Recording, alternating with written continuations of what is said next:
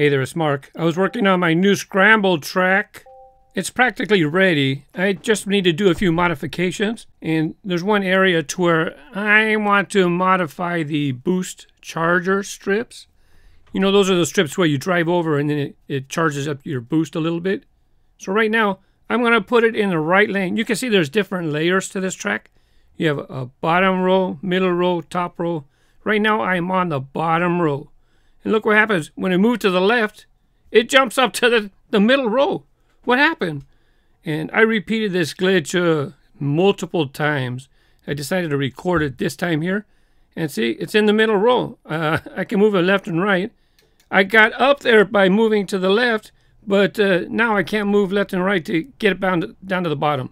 I mean, it shouldn't move it down to the bottom, but it shouldn't have moved it to the top either.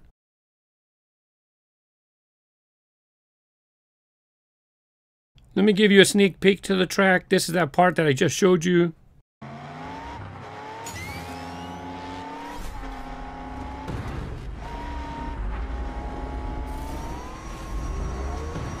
Okay, that's enough. Let me make a U-turn. This this is tricky. Coming between these two gorillas is going to be tricky. Because if, if you touch the gorillas at all, it's going to bounce you back.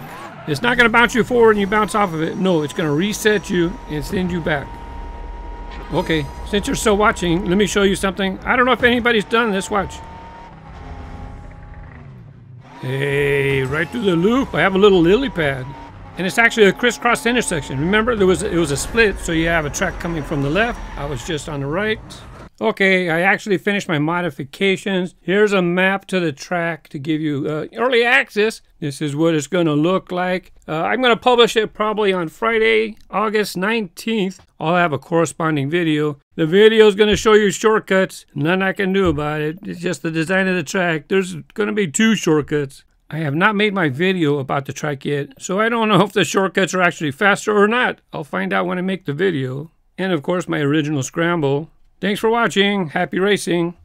Bye bye.